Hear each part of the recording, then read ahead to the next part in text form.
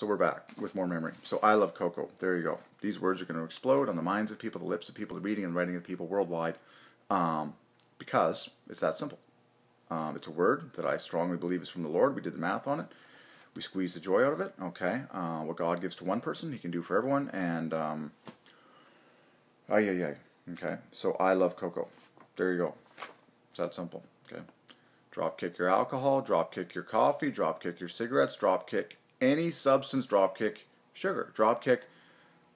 I could list an infinite number of chemical substances that people are shoving in themselves to try and achieve maximum 24 7 happiness, and they all fall short of God food. As I speak, there are athletes that use all sorts of PEDs just, just for the sake of the show, just for the sake of uh, a, a physical feat that they perform for the cameras that makes them look bigger, stronger, jump. I'm like, yeah, but it's not 24 7 maximum happiness like cocoa is. Okay? I'm, I'm here to call people to actual happiness, not showmanship, not world record at the Olympics, powered by, you know, a ridiculous lifestyle that's full of sweat and toil and tears and misery and just just for that one show. Are you kidding? That's not a sustainable happiness. What are you going to do when you're a senior? What are you going to do when you're 50, 60, 70, 80, 90, 100, 110? What are you going to drink for happiness that actually blesses you? That has God's name on it. When, when you can't break world records, it's obvious. Cocoa is for everyone. Cocoa is for children. Cocoa is for non-athletes. Cocoa is for scientists. Cocoa is for ordinary people. Cocoa is for seniors.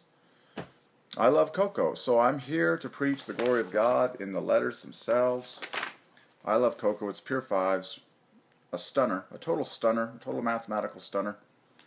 Um, and I do love cocoa. I said it with all my heart. And I can say that proudly because I've been partaking of this stuff like you wouldn't believe, and I live in a state of happiness and paradise that I'm inviting the entire human race to perform for the glory of God.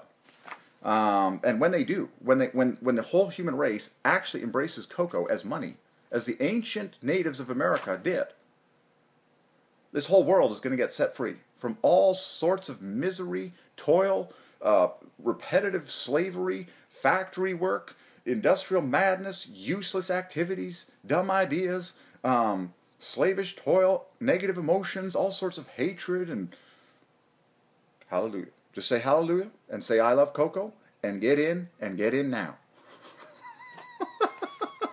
and stay in and take this stuff seriously. all right. Okay.